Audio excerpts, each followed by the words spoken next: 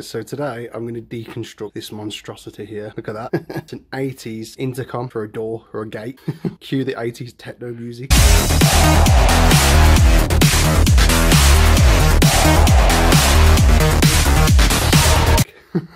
I actually tried to call someone up that still services these. He basically told me that he'd uh, just recently got rid of a thousand of them, and I was devastated because I would love to sit here scrapping out all these every single day. I saw the boards going for about 200 online, but you know, from what he says, they're not worth too much anymore. But there's always some gold in there. I love old appliances because they always layer on the gold nice and thick. There's no lasers or anything like that. They could just flash the gold on. So it's always gold plated, which is better for us e-wasters. I'm just going to take this apart today, see what goodies are inside.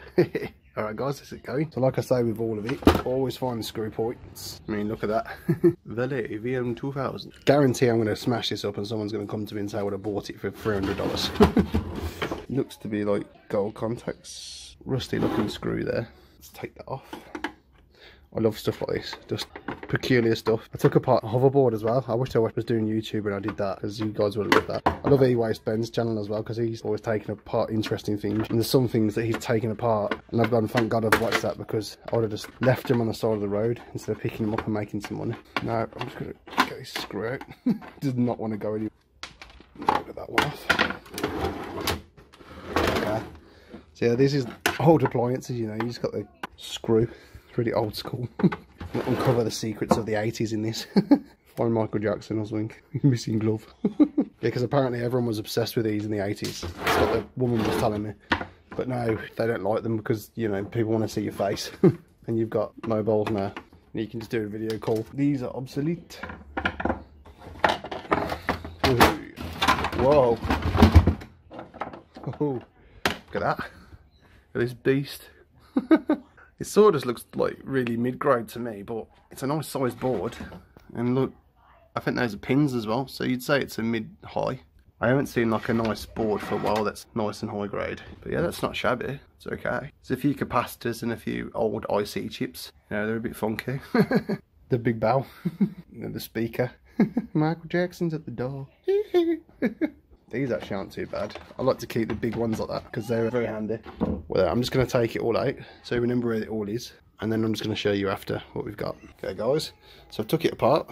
These are some of the boards I got in them. Just going from this one. Just some basic button boards, you know. Oh yeah, just a little bit of gold flashing as well. Not too bad. They could flash in the 80s. they good flashes. It's got these little knobs there as well. Reminds me of a hi-fi board you ever took one of them apart. But don't take hi-fis apart because they're actually worth some money, some of the old ones. Next, so just basic mid-grade. Just got your basic IC chip.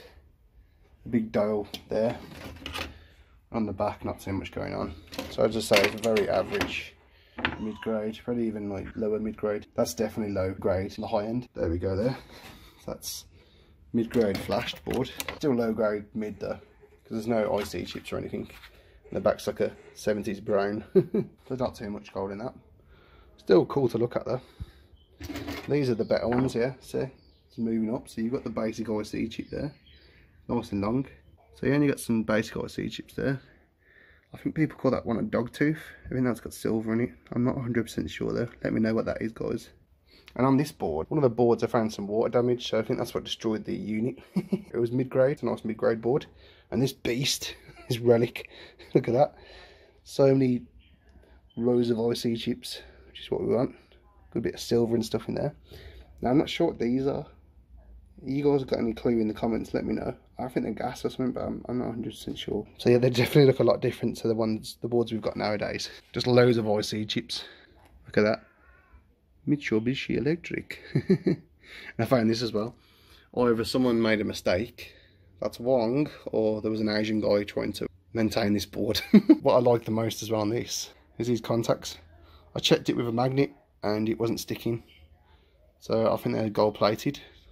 Could be wrong there, but let me know in the comments. Nice and gold plated. So yeah, look at that. IC chips. And the nice gold plated things on the end, which is cool. Probably the best part of the whole thing. The main processor board. And the back, yeah, you just got your basics there. Just soldering. and these things to keep it up. And just some IC chips. And see, you can see where it's fraying a bit there. I think that's from water damage. That's why the board stopped working. Guys, let me know what the most interesting, unusual old item that you've taken apart is. If you've got a video link, send it to me. That'd be really interesting. Or keep an eye out for these rare sort of items. So if you see an 80s intercom, pick it up because you've got some gold plated things on the end of that. And just some basic boards with a little bit of gold flashing. But the main thing is it's nice processor board that you're looking for. oh, I also got the speaker, which works as a nice magnet. And I got some of these cords.